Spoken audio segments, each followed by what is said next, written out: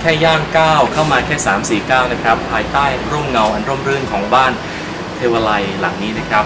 ที่ประดิษฐานองค์พ่อพิฆเนศอยู่ สิ่งแรกเลยที่พบเลยนะอาจารย์ทำไมช่างใหญ่โตมโหฬารซะอย่างนี้คืออะไรครับแผ่นนี้นะครับคุณหมอครับอันนี้เป็นเอ่อองค์เทพที่ถือว่าเป็นองค์ใหญ่ของบ้าครันบหลังนี้ครับเป็นเอ่อเป็น บิดาหรือเป็นพ่อขององค์พระพิฆเนศองค์นี้คือพระศิวะศิวะประทับอยู่บนหลังเรือครับแล้วก็เขียนสีลงทองเอ่อด้วยช่างฝีมือที่ถือว่าระดับช่างหลวงเลยทีเดียวนะคครัรับอยู่ลงลงบนไม้มะค่าครับหน้ากว้างเม็ดครึ่งสูงสามเมตรกว่าอืมเป็นไม้ที่ถือว่าคุณภาพเลอเลิศมากครับแล้วก็เป็นไม้แผ่นเดียวที่จะเป็นซุ้มประตูทางเข้าด้านหน้าบ้านด้านหน้าบ้านที่เข้ามาแต่ที่สุดแล้วบ้านหลังนี้เอ่อเสร็จแล้วเนี่ยเอ่อ บานประตูบานนี้จะไปติดตั้งอยู่ที่ทางเข้าเป็นเมนเอนทรานนะฮะครับที่ใช้เวลาในการวาดนานนะครับเนี่ยเอ่อวาดครับบ้านนี้แปดเดือนครับบ้านนี้แปดเดือนถ้าหากว่าสักครู่หนึ่งเข้าไปเนี่ยเดี๋ยวอาจจะได้เห็นศิลปินที่เป็นคนเขียนภาพชิ้นนี้อยู่ที่ไหนที่ที่กำลังทำงานอยู่ด้วยได้ครับงั้นเดี๋ยวเราไปชมกันนะครับว่าส่วนต่างๆของบ้านที่เป็นบ้านอันอบอุ่นหลังนี้ ภายใต้องค์พ่อพระพิฆเนศจะมีอะไรบ้าง นี่นะครับอย่างที่บอกว่าความวิจิตรพิสดารงดงามตระการตาของช่างฝีมือไทยๆเราเนี่ยนะครับ แค่เดินผ่านมาจุดแรกเนี่ยเราเห็นเป็นกระจกอาจารย์อันนี้คืออะไรครับ คุณน้องครับ ชิ้นนี้เป็นกระจกใสที่หนา 10มิลลิเมตรครับ แล้วก็ที่สำคัญก็คือว่าช่างแกะสลักกระจกเนี่ยเขาแกะเข้าไปในเนื้อกระจกลึกลงไปประมาณ 3-4มิลลิเมตรอืม ผมเราเอามือจับตรงนี้อยู่นะครับจะรู้สึกได้ถึงความความลึกมากทีเดียวนี่ช่างไม่ใช่ด้วยความละเอียดและความตั้งใจเนี่ยพลาดก็แตกเลยใช่ไหมอาจารย์แต่ครับ แต่นี่อืมนี่เป็นองค์ของอะไรครับองค์นี้เป็นเป็นแม่ขององค์พระพิฆเนศที่ว่าพระแม่อุมาพระแม่อุมานะครับ เอ่อผมมีกระจกที่เป็นเทพอย่างนี้เนี่ยทั้งหมดในบ้านหลังนี้เนี่ยครับ40กว่าบาท40กว่าบาทตอนนี้เสร็จหมดหรือตยังอนนี้เสร็จประมาณ 20กว่าบาทครึ่งหนึ่งแล้วนะคถ้ารับ เต็มโครงการแล้วจะเสร็จ40กว่าบาท นี่นะครับอย่างที่บอกว่าที่ไหนก็หาไม่ได้นะ ที่เดียวในโลกที่เมืองไทยเราเนี่ยนะครับอาจารย์ครับเป็นที่รวมของเหล่าถ้าภาษาวัยรุ่นนะเขาบอกว่าช่างเทพ ช่างเทพช่างเทพคือแต่ละคนช่างเทพแล้วมีหลายสกุลช่างใช่ไหมครับ มีอะไรบ้างครับช่างที่ที่เข้ามาช่วยในงานในด้านของช่างช่างลงรักปิดทองครับช่างแกะสลักไม้ครับช่างแกะสลักกระจกครับช่างเคาะโลหะดุลลายครับช่างปั้นหัวโขนครับก็ช่างที่หล่อ โลหะที่เป็นเงินพับลวกที่เรียกว่าช่างสิบหมู่ใช่ไหมครับช่างสิบหมู่อ่าช่างหลวงนะครับอะเราไปดูความงดงามต่อไปก่อนที่เราจะก้าวสู่บ้านเอ่แห่องฝากคุณน้องช่วยเปิดบานประตูเทพคู่นี้ให้หน่อยนะครับดึงออกมาเฉเชิญยออกมาเฉยๆนะดึงไหมๆอุ้ยประตูคู่นี้คือคือไม้มะค่าแผ่นเดียวครับสองบานบานหนึ่งเนี่ยกว้าง 80เซนติเมตรหนาประมาณ 3 นิ้วกว่านะครับความหนาเนี่ยอันนี้เป็นไม้ชิ้นเดียวใช่ไหมไม้ชิ้นครับเดียวครับไม้ชิ้นเดียวแล้วเป็นไม้มะค่านะครับครับสูง 3 เมตรครับ โอ้ถือว่าเป็นเอ่อบานประตูเดือยโบราณเดือยโบราณที่จะคือทำตามโบสถ์ตามวิหารวัดต่างๆเอ่อนวัตกรรมนี้หรือว่าโน้ตฮาวนี้เนี่ยครับสืบต่อเนื่องกันมาเป็นพันปีแล้วครับเป็นประตูที่ใช้สลักเดือยโบราณ แต่ถ้าผมจำไม่ผิดตอนที่ผมบวชเนี่ยผมเคยเปิดประตูโบสถ์ยังไม่หนักเท่านี้เลยนะอาจารย์นะครับหนักไหมครับแผ่นแผ่นนี้แผ่นนี้ใหญ่มากครับใหญ่มาก เช่นเดียวกันก็คือใช้ช่าง สิบหมู่เนี่ยนะครับใช่ มาช่วยงานด้านนี้ถูกไหมครับ เรียกว่าเทพเรียกยักษ์ชุมนุมนะครับด้านหน้าเป็นเทพชุมนุมบานประตูคู่นี้ผมจำลองมาจากวัดสุทัศน์เทพวรารามที่กรุงเทพครับ ความตั้งใจที่เอายักษ์มาชุมนุมหน้าบานประตูเนี่ยมีจุดประสงค์ไหมครับ มี จุดประสงค์ก็คือโดยทั่วไปเขาจะถือคติว่าบ้านเนี่ยต้องมีคนที่เฝ้าบ้านมีคนที่ปกปักรักษาบ้าน ครับ เทพที่มาอยู่ที่บานประตูเนี่ยคือครับผู้ที่ปกปักรักษาให้คนที่อยู่ในบ้านเนี่ยจะอยู่รอดปลอดภัยจะอยู่ครับอย่างมีความสุข ครับ บัดนี้เนี่ยเอ่อ ที่วัดสุทัศน์เนี่ยมีเทพชุมนุมอยู่ที่บานประตูเองและอีกหน้าหนึ่งจะเป็นยักษ์ชุมนุม ครับก็ถือเอาคติจากวัดมาเนี่ยมาจำลองไว้ที่นี่และอย่างเราอยากให้ชิ้นงานที่สุดยอดของวัดสุทัศน์เนี่ยมาปรากฏณตรงนี้ด้วยอืมแล้วก็จำลองมา นี่นะครับยังไม่ได้เข้าไปในบ้านเลยขนลุกสู้แล้วนะครับอาจารย์นำออกไปทีเชิญเลยครับเชิญเลยคขรัอบบคุณครับเข้าบ้านได้เลยนะครับคุณผู้ชมครับเข้ามาในนี้นะครับ ความรู้สึกเดียวที่รู้สึกก็คือ โอ้โห มีอย่างนี้ในโลกใบนี้ด้วยเหรอ แล้วมีอย่างนี้ที่ประเทศไทยเราด้วยเหรอนะครับ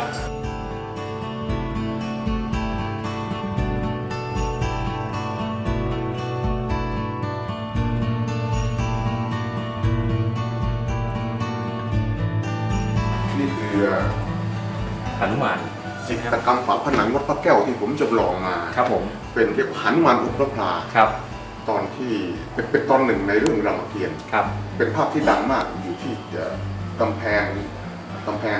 วัดพระแก้วนะครับ แต่ที่นั่นก็เขียนลงผนังปูนครับ แต่ของผมเนี่ยชิ้นนี้เป็นไม้สักครับไม้สักยาว 5 เมตรสูง 2 เมตรครึ่งเขียนสีลงทองครับก็ใช้เวลาเขียนอยู่ประมาณ 8 เดือนนะครับครับ ชิ้นนี้ ศิลปินก็เป็นศิลปินของพื้นบ้านเราเนี่ยครับศิลปินภาคเหนือที่จบมาทางสาขาจิตรกรรมไทยเนี่ยนะครับครับ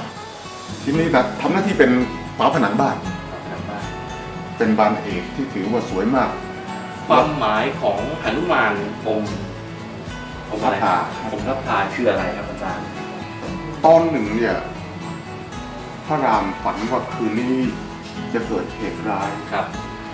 พิเภกก็เลยทำนายฝันว่าพระรามเนี่ยจะเกิดอันตรายครับในค่ำคืนนี้ครับหานุมานซึ่งเป็นสิบเอกเป็นเป็นเอ่อเป็นฐานเอกของพระรามก็เลยอาสาเนรมิตกายที่ใหญ่แล้วก็อมพับผาพระรามเอาไว้ในเพื่อปกป้องพระรามเอาไว้ในที่สุดก็พระรามก็โดนเอ่อทศกัณฐ์ส่งทีมงานมา แล้วก็มาลักพาตัวพระรามเนี่ยเอาไว้ไปลงใต้ประดาน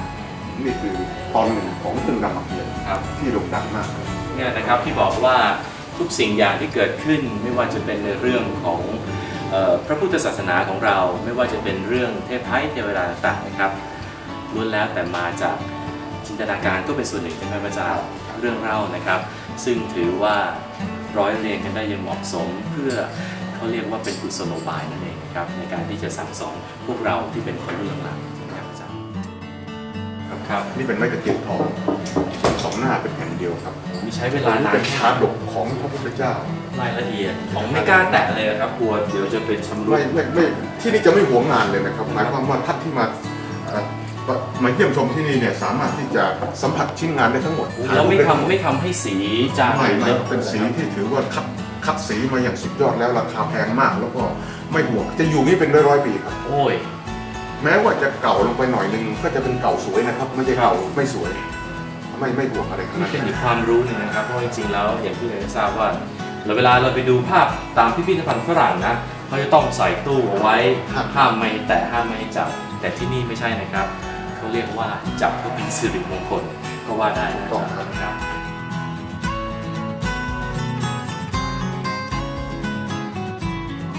ที่ศิลปินกำลังเขียนอยู่ก็คือ ก็คือบานประตูที่เราจำลองมาจากต้นพระแก้ว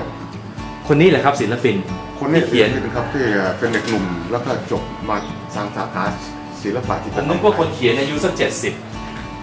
แต่คนนี้อยุเพราะว่าเพราะดูไม่เพราะดูจากงานที่เขียนเนี่ยคือต้องสั่งสมประสบการณ์ใช่ไหมครับและความละเอียด อายุเท่าไหร่แล้วครับขอโทษนะครับ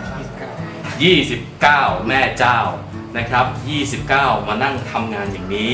งานซึ่งต้องใช้พลังและใช้ความละเอียดอ่อน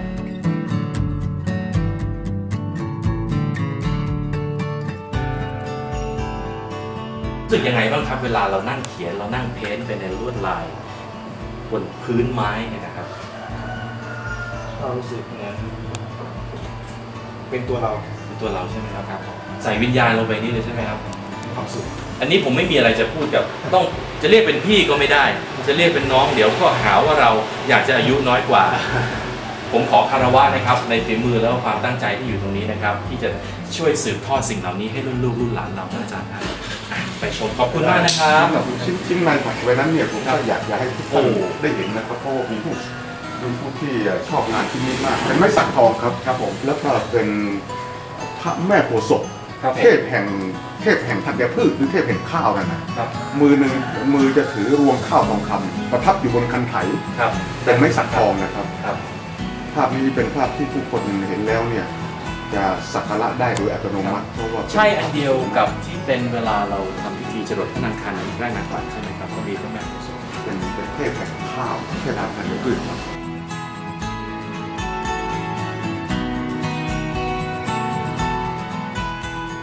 ที่ผ่านมาที่ได้เห็นเอ่อภาพที่เขียนสีลงทองทั้งหมดเลยทองนี่คือทองคำร้อยเปอร์เซ็นต์หมดทองที่เราใส่ทองที่ใช้เนี่ยคือทองร้อยเปอร์เซ็นต์นะครับทองคำร้อยเปอร์เซ็นต์แล้วเป็นการแกะที่ละเอียดมาก ลายนี่เป็นลายในในเอ่อยุคอยุธยาตอนปลายครับ เป็นกระหนกที่เอ่อชดช้อยแล้วก็ละเอียดยิบแล้วก็ลายผ้านุ่งขององค์พระแม่คงคาเนี่ยเป็นดอกไม้ก็แกะสลักเข้าไปในเนื้อไม้ทั้งหมดนะครับนะครับของสัมผัสโอ้ใช่ แม้กับเกล็ดปลาก็แกะลงไปในเนื้อไม้หมดครับ ไม่ใช่เป็นการเขียนสีธรรมดา แต่ว่าแกะสลักเข้าไปในเนื้อไม้หมดบ้าน ตัวหลังหนังสือก็เป็นตัวแกะสลักเราแกะสลักทั้งหมดครับตัวแกะสลักเป็นเอ่ออยู่ในเนื้อไม้หมดครับ ในนี้ไม่มีการเอาอะไรเข้าไปแปะนะฮะครับ เนื้อเนื้อเนื้อล้วนๆนั่นแหละครับแล้วก็บานนี้เนี่ยจะอยู่คู่กับพระแม่ธรณี ซึ่งกำลังทำอยู่แล้วก็ครับน่าจะเดือนหน้าจะมาพระแม่ธรณีจะมาเอ่อประทับอยู่ที่นี่ในเรื่องของบานประตูอยู่ชั้นบนนะคครับรับ นี่แหละครับเขาเรียกว่าฝากเอาไว้ในแผ่นดินจริงๆนะครับ อาจารย์ อยากจะเดินดูให้ทั่วบ้านหลังนี้จังเลยนะครับ ครับกับหลังหันไปชมงานที่นี่ที่เป็นพิเศษอีกหน่อยหนึ่งนะคือคู่นี้เขาเรียกว่าบานประตูเอ่อเขาเรียกว่าเซี่ยวกลางหรือเทพทวารบาลของจีน ครับเป็นสมัยอยุธอยุธยา ครับ แล้วก็แบ็กกราวด์หรือว่ารูปร่างของสิงห์เนี่ยจะเป็นไทย แต่หน้าตาของเทพ บุคลิกของเทพเนี่ยเป็นจีนเรียกว่าเซี่ยวกลางเขาเรียกว่าเทพทวารบาลจีนครับ ชิ้นนี้เอ่อต้นแบบเขาอายุประมาณ 300 กว่าปีมาแล้วผมไปจำลองมา ขณะนี้ชิ้นต้นแบบอยู่ที่พิพิธภัณฑ์เจ้าสามพระยาเจ้าสามพระยา จังหวัดอยุธยาครับผมอยากให้ดูว่าต้นแบบเขาเป็นอย่างนี้นะครับ นี่คือนี่นี่คือต้นแบบของของจริงที่ผมไปถ่ายรูปมาแล้วก็เอามาจำลองไว้ ครับคือเขาแค่เขียนลงรักลงทองค่นั้นแล้วก็ลงทองเขาเรียกทูโทนก็คือรักกับทอง ครับผม แต่เวลาผมเอามาต่อยอดเนี่ยครับ ผมให้เขาศิลปินนี่ช่วยกันออกแบบเขาต้องเขียนลงสีเลย อืมสีแล้วก็ทองทองคำแท้ คือไม่เท่านั้น ตรงกริกนี่ยังเป็นเงินแท้ ครับ ไม่เท่านั้นปอกกริกก็ยังเป็นนาคแท้ ก็เสมือนหนึ่งว่าพูดได้ว่าบานนี้เขาเรียกบานสามกษัตริย์ก็คือห้าสามโลหะมาอยู่ในในบานเดียวกัน ไม่ต้องพูดถึงมูลค่านะครับ แต่มูลค่าทางใจนับกันไปได้จริงๆนะอาจารย์ แล้วก็คู่นี้จะเป็นบานประตูที่อยู่ตรงซุ้มประตูทางเข้าด้านหน้านะครับครับ เป็นไม้ประดู่แดงครับไม้ประดู่ได้ใช้เวลาแกะออกมาผมว่าไม่คู่นี้ใช้เวลาหลายเดือนครับหลายเดือนนะหคลารับยเดือนครับประมาณสัก สี่ห้าเดือนครับ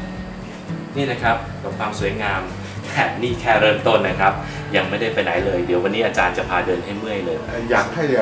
เงยกล้องขึ้นไปแล้วก็จับภาพที่เป็นโยคะที่อยู่ตามคานของชั้นนี้นะครับ ตรงนี้เขาเรียกว่าเอ่อท่าสุริยะนมัสการครับเป็น action ของโยคะที่ต่อเนื่องเป็นท่าเป็นท่าเป็นท่านะครับครับเอ่อหมดเอ่อท้องหมดชั้นนี้เนี่ยนะครับ เอ่อเมื่อทำเสร็จแล้วจะมีโยคะอยู่ประมาณสัก 250ท่าอืมจะเรียกเป็นท่าต่างๆ เช่นสุริยะนมัสการ เช่นฤาษีชมจันทร์เช่นกวางเหลียวหลัง เช่นท่าตักกะแตนอะไรนี่นะครับมันโยจคะได้ก็ท่าคือโยคะที่เขาใช้รักษาร่างกายด้วยใช่ไหมถูกต้องครับ เป็นเป็นภูมิปัญญาสากลนะครับโยคะเดินขึ้นบันไดบ้านเทวาลัยมานิดนึงนะครับ คุณผู้ชมจะเห็นมองเห็นผ่านบานประตูซึ่งเป็นลายเทพ อันนี้เป็นลายเทพอะไรครับอาจารย์บานประตูนี้คือพระนารายณ์ทรงบัลลังก์นาคครับ แต่ที่เหนือไปกว่านั้นนะครับคุณผู้ชม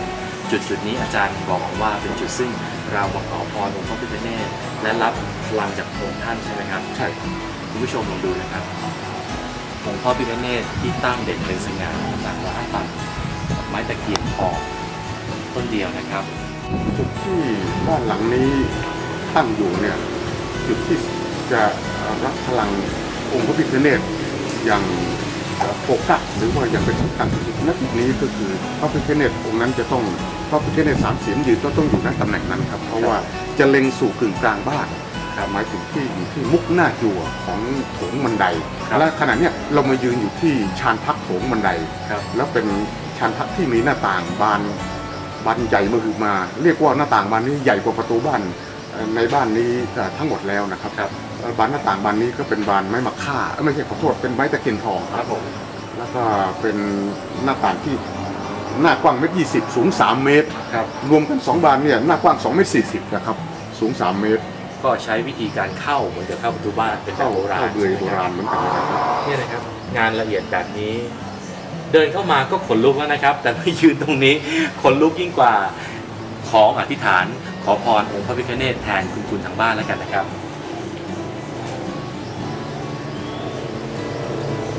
นี่แหละครับ ขอให้พ่อตู้แม่ตู้ที่อยู่ทางบ้านมีความสุขที่สำคัญสุขภาพ แข็งแรงอย่าเจ็บอย่าจนนะครับอาจารย์ไปกันต่อดีกว่า ขอเชิญเชิญดูตรงนี้อีกนิดหนึ่งครับครับผมนี่คือคานบ้านที่ผมอะบรรจงเอางานศิลปะที่เขาเรียกว่าสัตว์หิมพานต์หรือสัตว์ในวรรณคดีเนี่ยครับมาจำหลักหรือว่ามาแกะสลักบนแผ่นไม้สักแล้วก็ขูดคานบ้านทั้งหมดครับอย่างอันนี้เนี่ยเขาเรียกว่าอัสดรวิหกครับเป็นสัตว์หิมพานต์ที่มีหัวเป็นนกลำตัวเป็นม้าและมีปีกครับ แกะลงไม้สักทั้งหมดนะครัครับ แล้วก็บันทึกตัวหนังสือลงไป มีทั้งภาษาไทยและภาษาอังกฤษอธิบาย จะได้รู้ว่าสัตว์หิมพานต์ตัวนี้ชื่ออัสดรวิหกนะ โอ้นี่ขนาดตัวหนังสือยังแกะเลยนะครับ แกะเจาะเข้าไปในตัวเนื้อไม้เลยคไม่รับใช่เรื่องง่ายนะครับทำให้ตัวหนังสือคมและสวยขนาดนี้นะครับ ผมยืนยันว่าอยากให้ชิ้นงานที่ผมทำทั้งหมดเนี่ยอยู่เป็นร้อยๆปี ครับ ถ้าไม่แกะและเขียนแต่ตัวหนังสือเนี่ยสีมันหลุดลอกแล้วมันก็จะทำให้เอ่อ ไม่ไม่เห็นตัวหนังสือ อย่างที่เราเห็นแผ่นเล็ก ๆ ขนาดนี้นะครับอาจารย์ใช้เวลานานนะครับ แผ่นนี้แผ่นเดียวเนี่ยก็ใช้เวลาเป็นครึ่งเดือนเหมือนกันนะครับ รวมทุก ๆ ขั้นตอนแล้วเนี่ยนะครับครับมีทั้งหมด 66 ตัวไม่ซ้ำกันเลยนะครับ ขนาดความกว้างก็ประมาณสัก 16 40นิ้วเซนคูณอ่า40เซนประมาณนี้นะครับ 40 เซนคูณ40 เซนนะครับ สวยนะครับคุณผู้ชม ผมเชื่อว่าสิ่งเหล่านี้เนี่ยคือจะถ่ายทอดไปยังสู่อนุชนรุ่นหลังได้อีกเป็นร้อยร้อยๆปีพันๆปีนะ นะครับอาจารย์อะจะไปเชิญต่อ ขึ้นข้างบนบ้านเลยนะครับชิญเดี๋ยวก่อนอาจารย์ก่อนที่จะก้าวไปแค่บันไดก็สะดุดตาแล้วทำจากอะไรครับบันไดที่เป็นไม้มะค่าทั้งหมดครับ ครับผมเป็นไม้มะค่าหนาประมาณสักสองนิ้วครึ่งนะครับ ครับ ประตูบ้านผมเนี่ยยังไม่หนาเท่ากับบันไดบันไดเลยนะบันไดบ้านอาจารย์เนี่ยนะครับ แรงกายแรงใจจริง ๆ เชิญอาจารย์ถ้าเลยกคล่ารัวบ ถ้ากล่าวถึงไม้ครับว่าความหนาของไม้เนี่ย ครับผมอยากจะให้อยู่ตำแหน่งนี้นะจุดนี้เนี่ยอยากครัจะบให้เอ่อ กล้องดูที่ที่ไม้ไม้พื้นบ้านผมที่เห็นรูหัวไม้เนี่ยนะฮะครับตรงนั้นเนี่ยเป็นรูที่น่าจะเป็นตำนานเล่าขานกันไปอีกนานแสนนานครับผมต้องการอธิบายว่ารูที่หัวไม้นี้เนี่ยมันเป็นรูที่เจาะด้วยซิวเอ่อหน้าใหญ่ครับเหตุผลเนี่ยไม้นี้คือไม้มะค่า ความหนาคือ 3 นิ้วครับหน้าเนี่ยกว้าง 50 เซนหรือครึ่งเมตรครับแต่ความยาวของไม้เนี่ยมันคือ 4 เมตรครับไม้แผ่นนี้หนัก หนักเอ่อมหาศาลเลยนะครับเอ่อสี่คนเนี่ยยกไม่แทบจะไม่ขึ้นเลยนะครับครับ ดังนั้นเจาะรูเพื่อที่เอาโซ่ร้อย แล้วให้ช้างลากออกมาจากป่า